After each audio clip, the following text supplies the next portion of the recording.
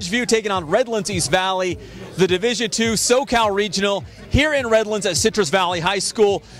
Trevor, the Wildcats and the Wolfpack just making their way onto the field. Here we go. Well, and here we are down on the field, and, and Pep, you know, me being from Sacramento, I kind of remember what this field turf is. But can you remind me what this is? Because we're so used to grass fields all over Kern County. I know. I remember. Um, well, obviously Griffith Field is a place where I spent many of Friday nights. When I moved down here to the Inland Empire, almost everybody has the artificial turf fields. Almost everybody. I mean, if you see a grass field anywhere in the inland area, it's like, well, what's going on with this school? I mean, this is the oddball. But up in Kern County, obviously, grass is more of the norm. And we were talking to head coach Dennis Manning the fact that they're playing on turf, and I know he says that could play into his favor to a certain degree because he's got some fast guys. But Redlands East Valley's got some speedsters too, and they love to play on turf because they like to play fast. Well, Pep, since you're the guy that kind of knows this team very, very well, why don't you give us a little bit more insight? You know, they've got Levette, they've got that big time Wildcat wide receiver that's going to Oregon. Give us some insight on what this team is as we get Kurt Bruich coming in right now. Let me switch over. Hey, coach, we're live. Come on in here, brother.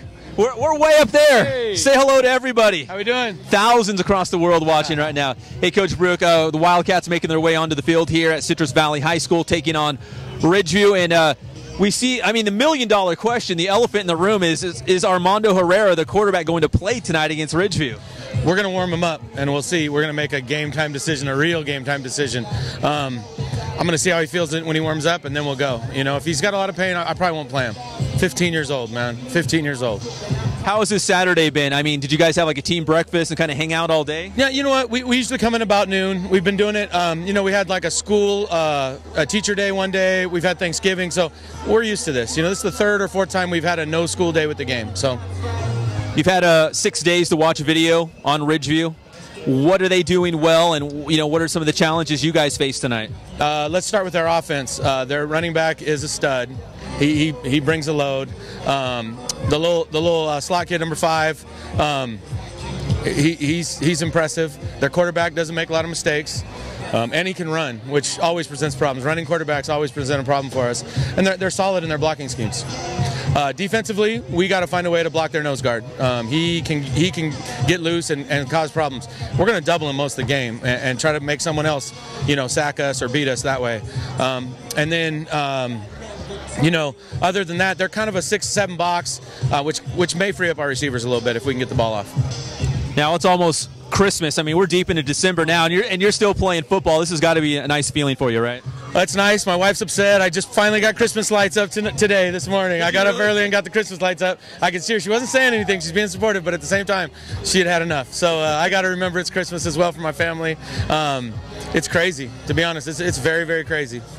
Do you get much advice from your dad, Dick Bruich, in, in terms of preparing for a big game, or is he, you know, you've done this long enough now, it's not your first rodeo that he just kind of turns you loose? He, he only if I ask him, he'll say anything. Other than that, he just lets me go. You know, I mean, I've been around him so long that you know it is it, it is kind of a, a blessing to have him, but he, he doesn't step on my toes in any way.